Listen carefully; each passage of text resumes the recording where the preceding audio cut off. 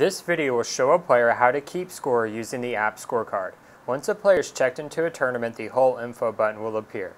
Tap the hole info button to go to the first hole. The first screen will show you the yardage book of the current hole. Swipe left to access the app scorecard.